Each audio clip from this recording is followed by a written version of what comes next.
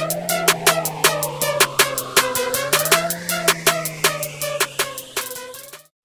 friends, thanks for tuning in. Welcome to the Saturday review. Today we'll be featuring the new NARS Velvet Matte Skin Tint. This retails for $44 on Sephora. You can also purchase this on the Narcissist website.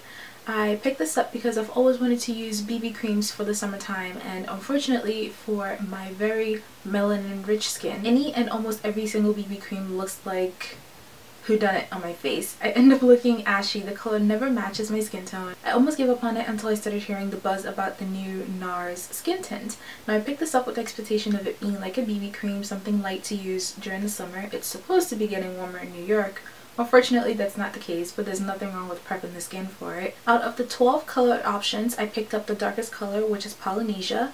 Now, initially, when you first squeeze it out of the tube, I could not tell if it had a more yellowish undertone or a more reddish undertone, but I know that it worked out for my skin. I currently have it on right now as I'm recording this video, so you can see exactly how it looks like on my skin. It blends in pretty well and it also has SPF 30, which makes me very excited because, like I said, a lot of BB creams or liquid foundations that have sunscreen in it always look ashy on my skin. As far as the packaging, I really admire squeeze tubes I really enjoyed the fact that it is a squeeze cap so you can get as much product as you want out of it and with the consistency of the products you actually really don't need that much at all. You don't even need a whole pump. You could use a full pump to cover your, your to cover your entire face.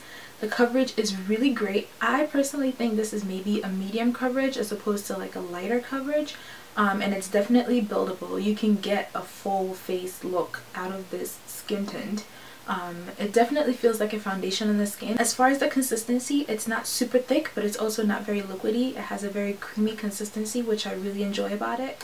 As far as the color, it matches my skin very well, I believe. I have it on right now, as you can see. Also, with the packaging of the product, it comes in this squeeze tube that's a 1.7 ounce container. So you do get a lot of product.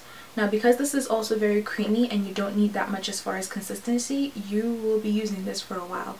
I expect this to last me for a very long time because like I said, you don't even need a full pump to cover your entire face. Now the claims of the product are that it is an oil-free skin tint that protects and perfects with medium buildable coverage and also a soft matte finish.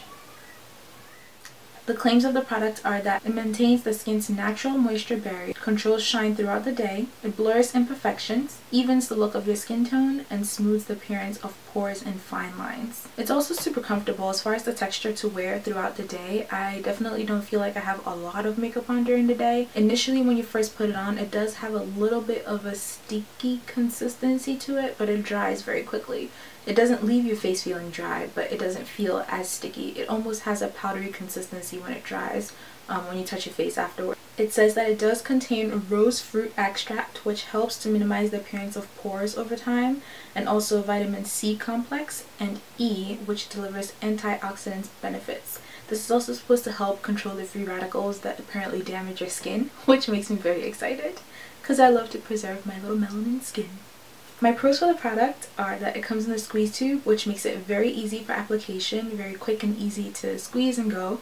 Um, the consistency is super great, it's not too thick, not too creamy. Coverage is amazing, it lasts, I wouldn't say all day, but it lasts for the majority part of my day. The color match is great, although there are only 12 color options to choose from. And with the 12 options that they give, I did notice that it's almost like they mixed all the in-between colors to narrow it down to 12 options only, which is absolutely great because it's supposed to be a skin tint. It's supposed to just just match your skin enough that if you want to add on a foundation, you can for that very full coverage look. My only con, which I don't even know if I'd really call this a con, is that it says that it's supposed to be a matte foundation.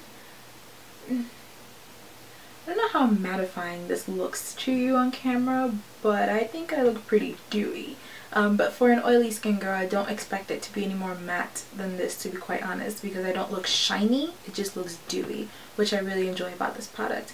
So overall, this has definitely moved this way up to my everyday grab and go stash. It's actually in my makeup bag with me to work every single day and I have been enjoying using this for the past, I think, month and a half maybe, possibly.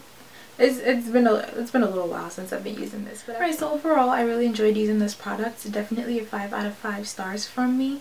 I would definitely recommend this product for the girl on the go dark skin light skin oily skin dry skin. Very easy to use very convenient. Um, and also the the coverage is amazing. Coverage is key. And so thank you for watching. I hope you enjoyed this review on the NARS Velvet Matte Skin Tint and I hope to see you again in next week's video. Bye bye.